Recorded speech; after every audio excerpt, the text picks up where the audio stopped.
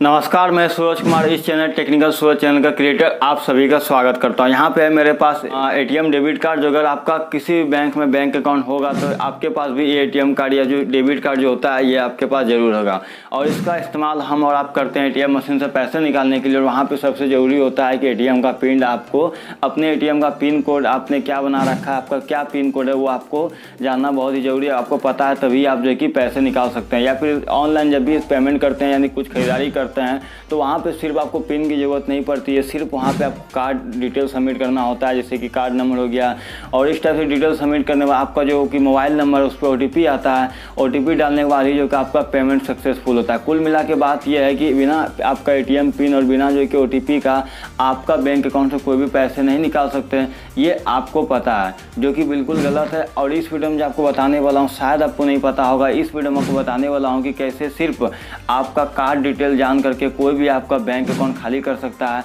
जो कि आपको बिल्कुल पता नहीं है। तो इस वीडियो में आपको बताने वाला हूँ, और कोई ये हैकर ही नहीं कर सकता, या फिर कोई भी प्रोफेशनल हैकर ये काम नहीं कर सकता, हमारे और आपके जैसा कोई भी गलत आदमी भी ये काम कर सकता है। तो इस वीडियो में आपको बताने वाला हूँ, अगर आपके पास बैंक अकाउंट है, अगर आपके पास ए कार्ड है तो इस वीडियो को कंप्लीट तक ज़रूर देखिएगा।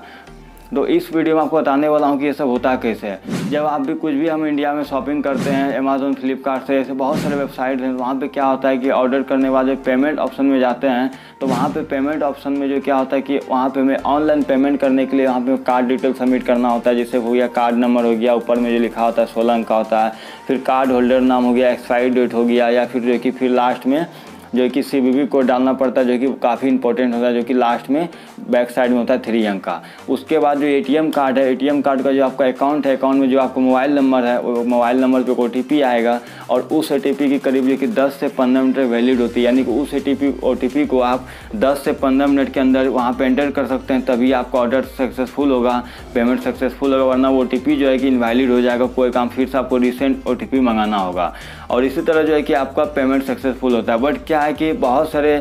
ऐसे इंटरनेशनल वेबसाइट हैं, जैसे कि अली बाबा इन सब में क्या होता है कि आप पेमेंट जब करते हैं तो पेमेंट करते समय आपको कोई भी वहाँ पे ओ या फिर एटीएम पिन की ज़रूरत नहीं पड़ती है। सिर्फ़ आप कार्ड नंबर वहाँ पे जो है कि डिटेल सबमिट करके आप जो है कि ऑर्डर सक्सेसफुल वहाँ पे कर सकते हैं। आपका जो कि पेमेंट सक्सेसफुल हो जाएगा। मान के चलिए आपको अगर कोई भी कार्ड नंबर जान जाता है, कोई भी गलत आदमी क्या करेगा कि वहाँ से जो कि उन सब वेबसाइट से आपके कार्ड से शॉपिंग कर लेगा। अब ये सोचेंगे, आप सोच रहे होंगे कि पैसे जो है कि उनके अकाउंट में कैसे जाएगा फिर किसी के अकाउंट में पैसे कैसे जाता है। तो मैं आपको बताऊँ जैसे कि आप अमेजोन से कुछ भी शॉपिंग करते हैं या फिर फ्लिपकार्ट से तो अगर आप कैश ऑन डिलीवरी सामान ऑर्डर करते हैं, यानी कि आपने कुछ सामान का ऑर्डर कर दिया और वो सामान आपके पास डिलीवर हो गया और उस सामान को आपको जो है कि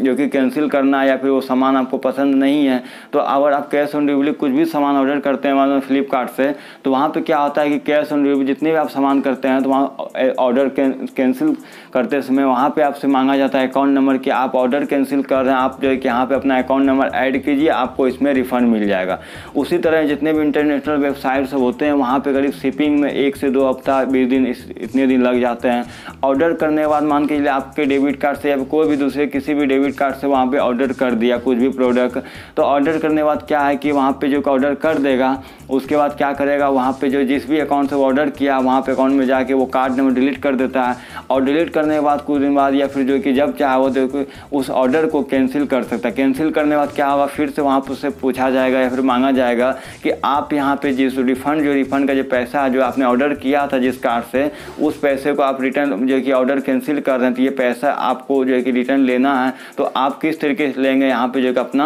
बैंक अकाउंट को ऐड कीजिए। तो वहाँ पे जो कि अपना बैंक अकाउंट ऐड कर देगा और उसी तरीके से वो पैसे जो है कि उसके अकाउंट में चले जाएँगे। अब ये सोचेंगे, अगर आपके पासबुक अपडेट कराएँगे उस पर पता चल जाएगा कि किस वेबसाइट पर आपको जो है कि पैसा जो है कि जो है कि ट्रांजेक्शन हुआ है पैसा का। तो आप सोचेंगे तो कोई भी जो जितने भी इंटरनेशनल वेबसाइट है, वो आपकी जो कि डिटेल किसी को भी या फिर जो कि कोई भी शॉपिंग करता है या फिर कोई कोई भी कार्ड से पेमेंट करता है तो वो उसकी डिटेल वो किसी को भी शेयर नहीं करता है। यहाँ तक कि जितने भी इंटरनेशनल वेबसाइट सब वेबसाइट हैं, वो पुलिस को भी वो जो कि पर्सनल डेटा शेयर नहीं करता। तो मैंने आपको बताया कि अपने कार्ड की जो कैसे जो कि कार्ड की डिटेल है, मैंने भी आप यहाँ पर जो देख सकते हैं, मैंने भी यहाँ पे कार्ड को जहाँ पे